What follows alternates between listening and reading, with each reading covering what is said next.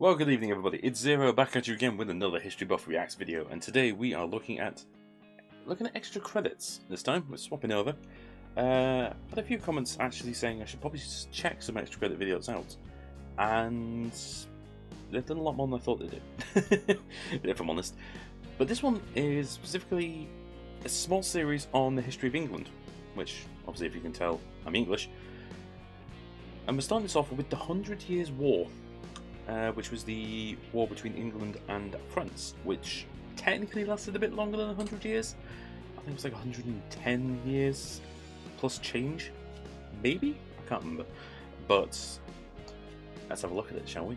About 18 months ago, James heard one of his favorite podcasters say he was making podcasting his full time gig. And we've wanted to help out ever since. Coordinating our schedules was almost comically difficult. but now that Rob's brand new miniature member of his family has arrived, we're sending him on some much needed paternity leave to bond with his daughter. Congrats, Rob!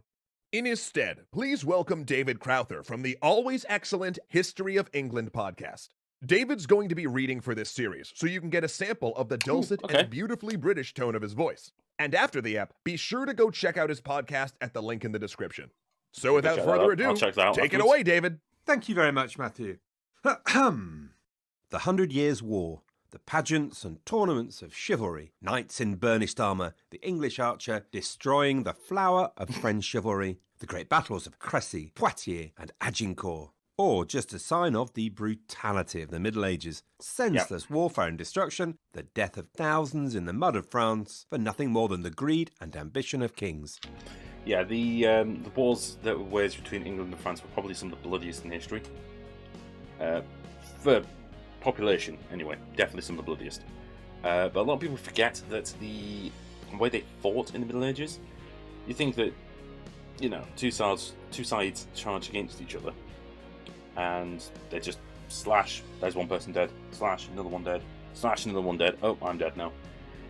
No, it it was worse than that. Like you could get exhausted fighting one person. And bearing in mind there's thousands of them on each side. Imagine how bad the fights were. There's all of this and more in the Hundred Years' War. It's a story of courage, the clash of nations, a story of human endeavour and the timeless struggle for supremacy. Yet there's also another story here the story of a war that helped define England, her sense of herself, her language, her role in the world. The Hundred Yep. Years' War helped form a nation. Welcome to the Extra History of England.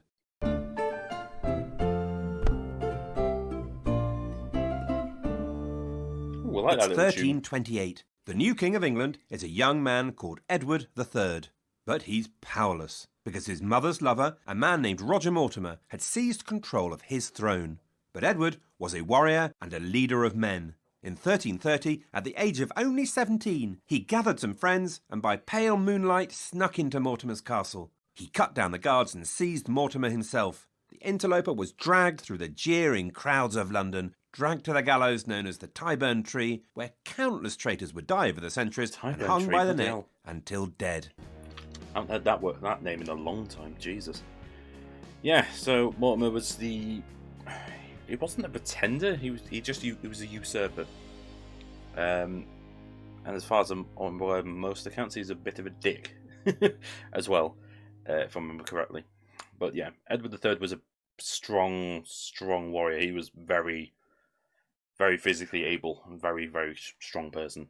From that point, Edward was determined that England and his royal court would be a shining example of culture to all Christendom. The court of the young king was a pageant of colour, music, tournaments, and poetry. He surrounded himself with the enormously wealthy nobility and modelled his court on the glory of the ancient and mythical Camelot, of King Arthur, a celebration of the cult of chivalry.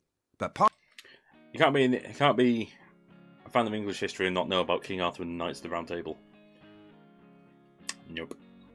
Part of that cult was that the king would lead his nobles to war, wealth, and glory. And while at times the nobility did strain against the king's authority, for the most part they were his natural allies, holding their lands from him and working with him to govern his kingdom and his people. And so, with his greatest nobles at his side, Edward did what he loved most and was born for. He led his nobility to war and crushed the Scots in battle.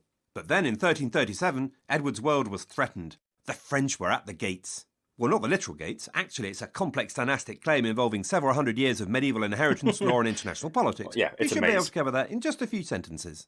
For centuries, the French and English royal dynasties had fought over land in France. In the blue corner, the French royal dynasty, the Valois, and in the red corner, the English royal dynasty, the Plantagenets. And the Valois King of France, King Philip VI of France, was determined to take the last of Edward's French lands away from him. Because medieval kingdoms didn't follow modern borders or rules, they were the property of a king and his nobles. English claims in France went all the way back to 1066, when a French noble called William the Bastard Of course. decided that he deserved more than the lands he held in Normandy.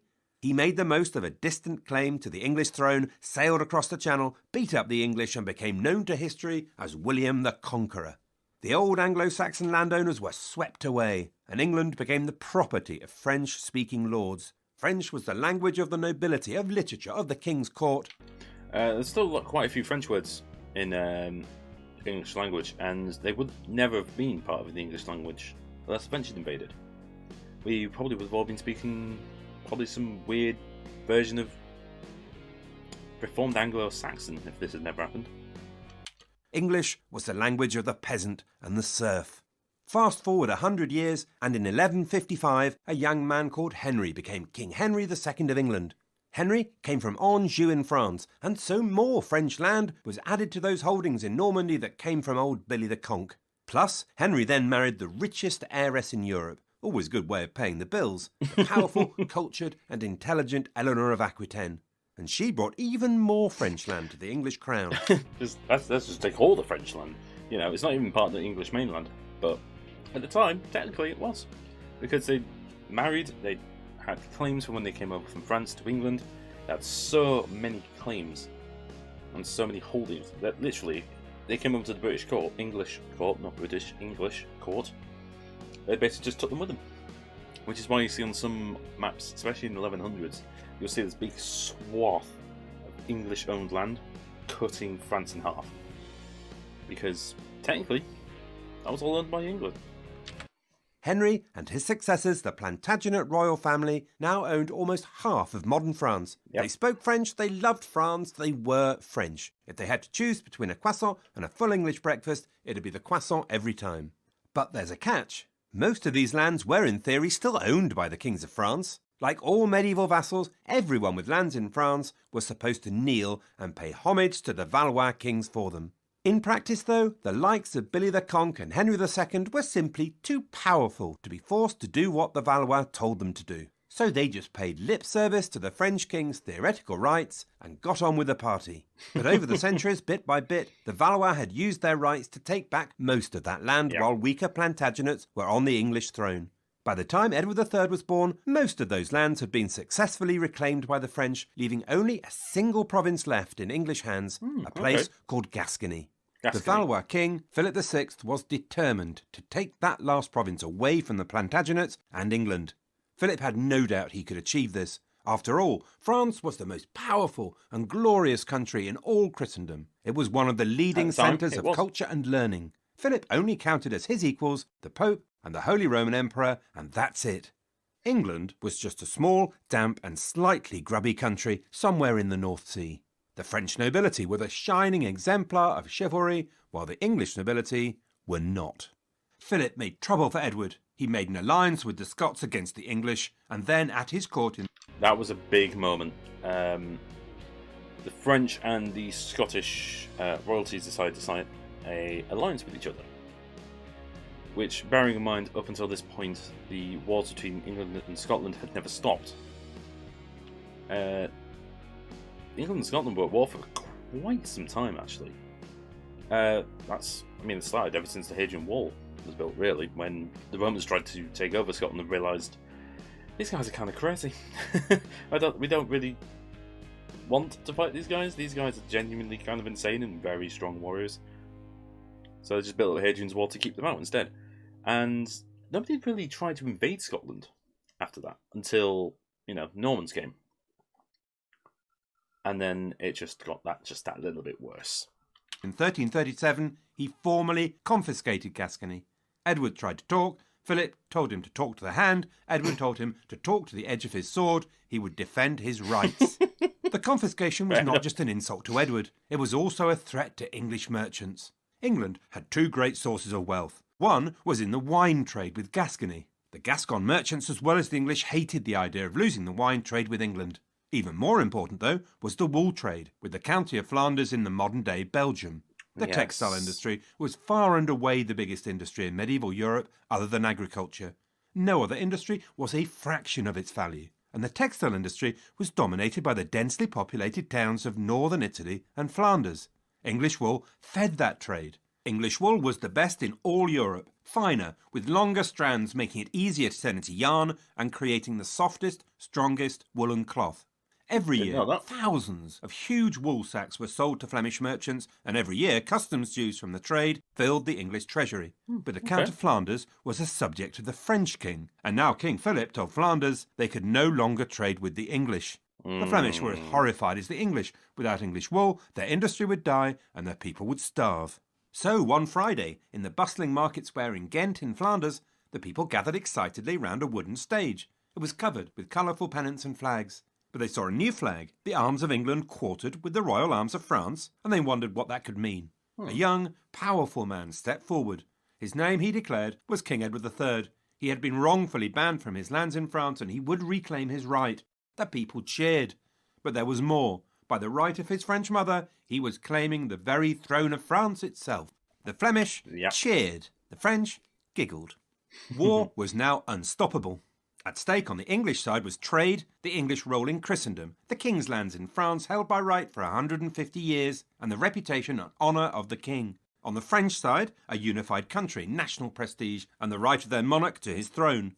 So join us next time as these two great kings marshal their forces and the Hundred Years' War begins in earnest. I think I'm going to enjoy this series. I'm going to I'm going to watch the entire series on this. This is so clean, and it gives quite a lot of information as well. Like some of the information that some others probably wouldn't put in. So I'm quite glad about. But yes, the start of the Hundred Years' War was essentially mainly about economy and rights, uh, and it blossomed into a huge, huge war, which lasted 110 years, ish. But yes, I'll be watching the rest of this series because I'm I'm I like it already. I've only watched one video. I hope it's a long series because I can't wait to put some more up. And that's going to be the end of the video. Thank you very much for watching, guys. If you did enjoy it, make sure to like and subscribe, and also hit that bell if you can. Definitely going to be doing more of this. If you have any other suggestions, please put them down in the comments. I read all the comments. Literally read all the comments. So if you put a suggestion there, I definitely will see it. But if you check out over here, at the top here, you will see the most recent video apart from this one. And down below, you will see the whole History Buff Reacts playlist. That's going to do it for me. I've been Zero. I'll see you next time. Bye bye.